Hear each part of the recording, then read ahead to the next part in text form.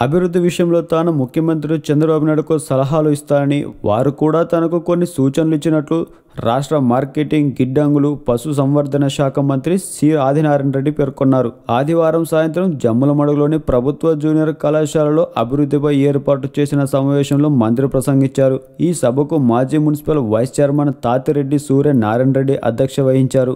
సమావేశంలో మంత్రి మాట్లాడుతూ ముఖ్యమంత్రి నియోజకవర్గం కుప్పం ప్రతిపక్ష నేత నియోజకవర్గం పులివెందల కంటే జమ్ముల మడుగు అభివృద్ధి చేస్తారని చెప్పారు. జమ్ముల మడుగులో అన్ని విధాల అభివృద్ధి పనులు చేసేందుకు సీఎంతో తాను ముందుగానే మాట్లాడుతానన్నారు. జమ్ముల మడుగులో ఏ అభివృద్ధి పని చేసినా మాజీ మంత్రి పి రామసుబ్బారెడ్డి గాని తాను అడిగిన అభివృద్ధి పనుల్లో చరిసగం వస్తాయన్నారు.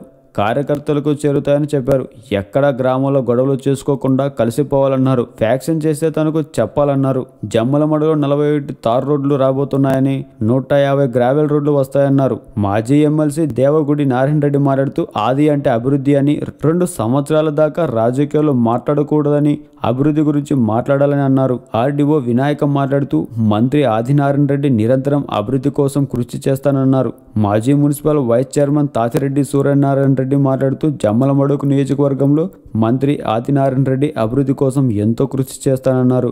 ఈ కార్యక్రమంలో ఆరు మండలాలకు చెందిన ఆదివర్గం కార్యకర్తలు నాయకులు అధికారులు పాల్గొన్నారు.